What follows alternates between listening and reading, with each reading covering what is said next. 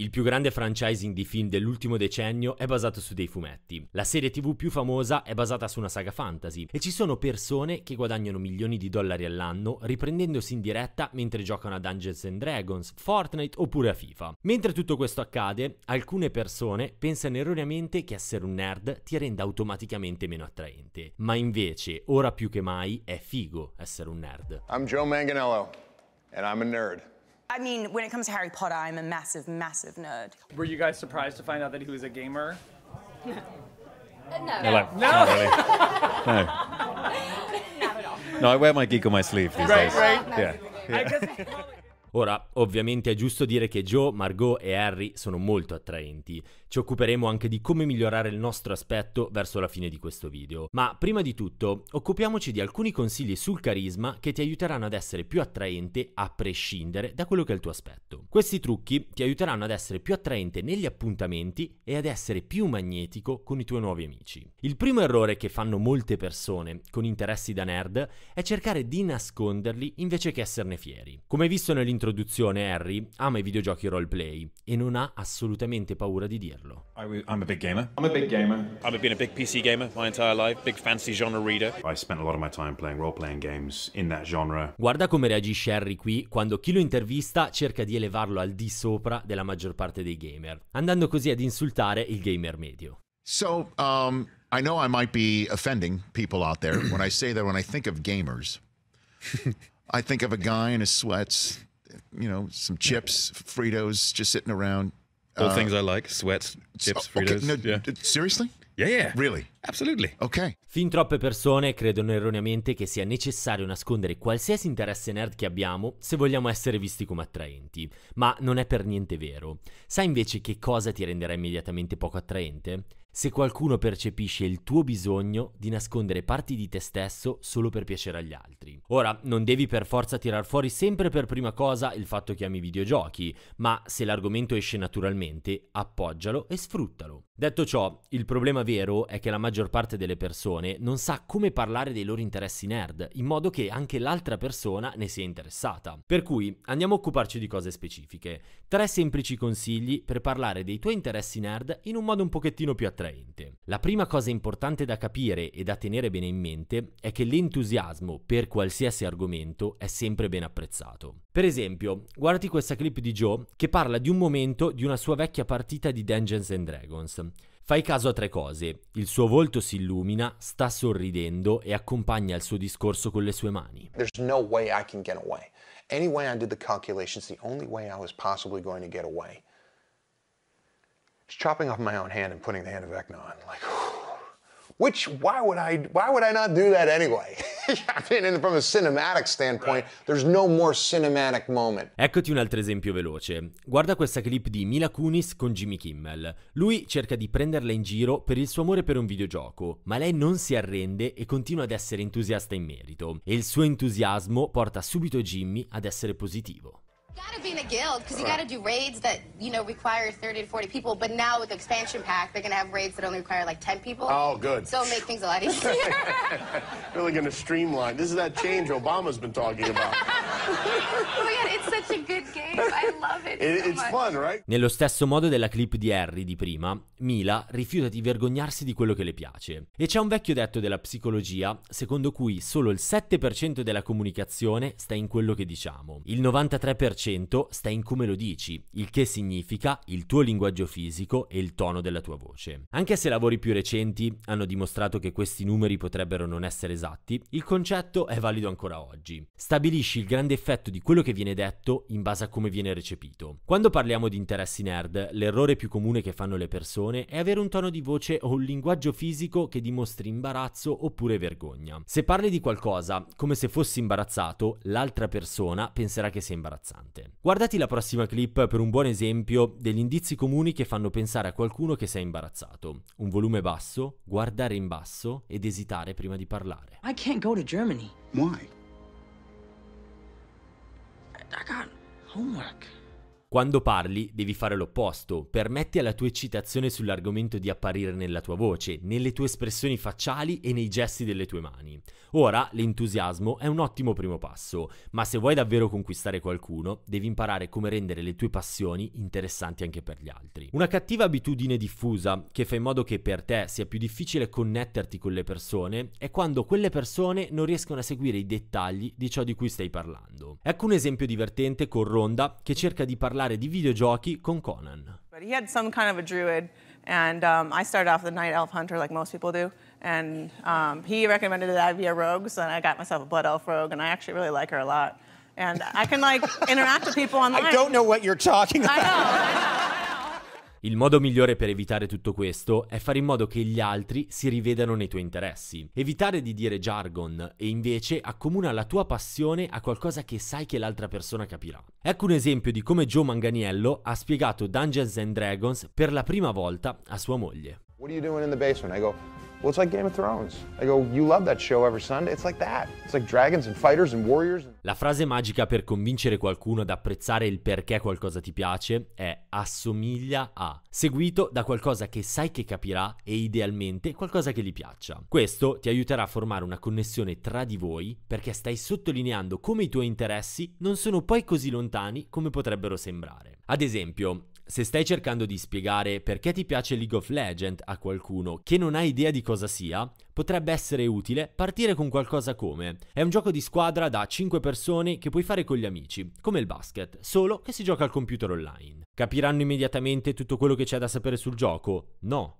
ma cominceranno a capire perché piace a te e potranno rivedersi in esso durante la conversazione. In più, quello che succede è che possono fare altre domande interessanti in merito, perché lei è ridotto a qualcosa che possono capire. Eccoti un altro esempio veloce. Fai caso a come paragona Dungeons and Dragons sia al Signore degli Anelli che ai sogni. Due cose che James Corden potrà capire. We told a we told a fantasy epic akin to Lord of the Rings that is entirely our own and exists only in our minds. So to try and share, oh, here's what happened when Oleus Dawnbreaker finally defeated the Kraken.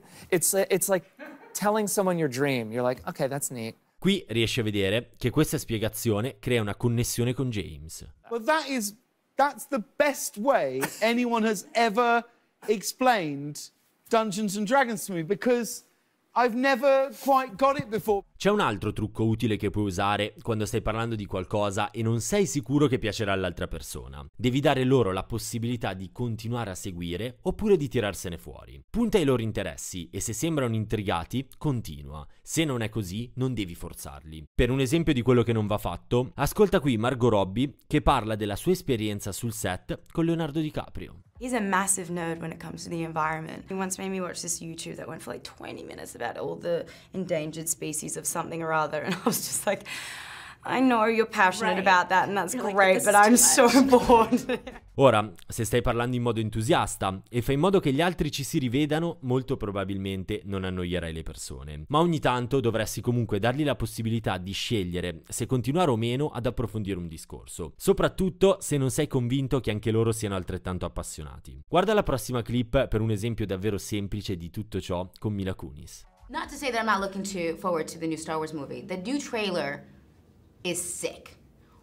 I was so excited to see that new Star. I loved it. Did you see the new trailer? Yeah, I thought it was amazing. It was with the new the lightsaber that comes out that's like a little baby cross. I was like, oh my god, this is awesome. È molto semplice, presentalo con entusiasmo, fai in modo che gli altri ci si rivedano e poi permetti all'altra persona di scegliere se continuare a seguire o meno mentre approfondisci il discorso. Ma c'è un'altra cosa che aiuta davvero tanto. Essere attraenti è più facile quando hai degli hobby che ti orientano in almeno due direzioni ben diverse. Harry lo conferma nella prossima clip. You were home. It's not like you weren't home. You were home, but you were playing World of Warcraft, and the phone rings, and you're like, "I'll get that later." I'll get yeah, yeah, absolutely. I'll get that later. And I was playing. Uh, it was an important part of a particular dungeon that I was going through, and and it's cool now that I'm Superman. Yeah. And uh, Joe fa la stessa cosa, adora Dungeons and Dragons, ma ama anche il football e le arrampicate su ghiaccio. Potresti pensare che stia succedendo questo. Le cose nerd buttano giù questi ragazzi, ma tutto si sistema con le cose fighe che fanno. Ma non è questo il caso. Per provarlo, guarda uomini come Joe Rogan e Lex Friedman. Joe non sarebbe altrettanto interessante se fosse solo un tipo muscoloso che fa bodybuilding e jiu-jitsu. È molto più popolare perché ha questa combinazione diversa e unica di interessi che includono l'atletica, gli psichedelici, la natura, la filosofia e la scienza. Se Lex Friedman fosse solo cintura nera di jiu-jitsu, il suo podcast non avrebbe quel successo.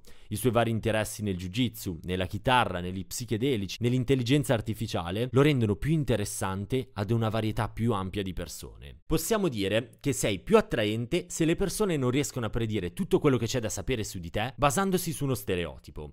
Ora, ovviamente, non devi modellare tutta la tua vita intorno all'essere attraente per le altre persone. Per cui non devi scegliere degli hobby solo per piacere agli altri, ma se hai degli interessi diversi, fallo capire in una conversazione. Renderà più difficile stereotiparti o limitarti e svilupperai l'abilità di sorprendere qualcuno uscendo dalla classificazione in cui ti avevano inserito all'inizio e diventerai così più intrigante. Ok, ora parliamo di un errore che sfortunatamente fanno molte persone arrendersi sull'aspetto fisico. Questo sarà un punto molto veloce. Sì, persone come Joe, Harry sono geneticamente fortunati in un modo che in pochi altri lo sono, ma il loro aspetto non è comparso dal nulla come potremmo pensare. Ascolta Harry mentre parla della sua infanzia proprio qui in questa clip. Did they bully you at school? Did they call you fatty those way back Um, uh, fat Cavill was the actual name. Um, but you know what? I was fat, and my name was still Cavill then, so it was a fairly fitting nickname. Um,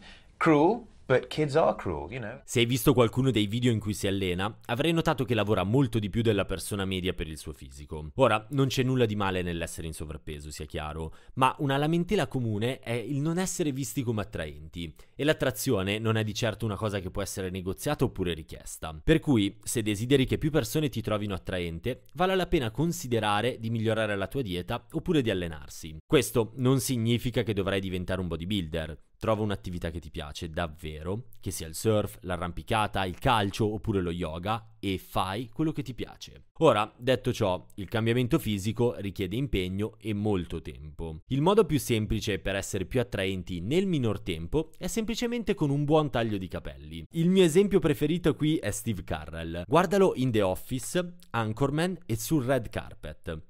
È la stessa persona con un completo, in tutti e tre i casi, ma i suoi capelli creano delle prime impressioni molto diverse. Adam Driver è un altro ottimo esempio. Oggi è un sex symbol, ma non l'avresti detto guardando la sua foto dei Marines. Ok, ora passiamo all'ultimo errore che un sacco di persone fanno quando cercano di uscire con qualcuno o vogliono fare amicizia. Questo non ha a che fare con il tuo aspetto, ma con la tua sicurezza. L'errore è nascondere i tuoi interessi perché temi il rifiuto. Così, tante persone si lamentano di essere nella friendzone, quando in realtà sono loro stessi ad essercisi infilati all'inizio, perché spaventati di esprimere un interesse romantico. Per cui si aggirano lì intorno sperando che sia l'altra persona ad esprimere interesse in loro. Oppure semplicemente vanno in un bar e vedono qualcuno di attraente, ma non riescono a trovare la sicurezza di andare a parlare con quella persona. Questo succede anche quando cerchiamo di fare amicizia. Le persone hanno così paura di fare una brutta impressione che si concentrano sul non fare nulla che non venga apprezzato e così finisci per passare inosservato, non facendo proprio nessuna impressione. Invece devi accettare l'effetto polarizzante. Essere disposto a rischiare un'impressione negativa ti permette di fare un'impressione positiva e forte. È un esempio goffo, ma guarda questa clip di Travis di Critical Role. Se non conosci Critical Role, è un gruppo di amici che fanno milioni di dollari all'anno registrando mentre giocano a Dungeons and Dragons. In questa clip Travis è disposto ad essere goffo di fronte a centinaia di migliaia di persone. Le persone possono giudicarlo per questo? Certo, ma l'essere disposto ad essere goffo fa impazzire tutto il suo cast. And welcome to tonight's episode of Critical Role, where a bunch of us nerdy ass voice actors sit around and play Dungeons and Dragons. We play Dungeons and Dragons! or that. We also do that, I guess. Uh, Same embarrassment you feel about us, the way we're feeling about you now. the f was that? We are currently playing Dungeons and Dragons. Sorprendentemente Travis aveva quasi lasciato Critical Role prima che il loro primo episodio andasse in onda, perché aveva paura che le persone lo giudicassero perché gioca a Dungeons and Dragons. Come ha fatto a superare questa paura? Non puoi semplicemente smettere di pensare a qualcosa, ma puoi sostituire un pensiero con uno diverso. In questo caso Travis ha pensato a tutte le cose positive possibili che sarebbero derivate dallo show.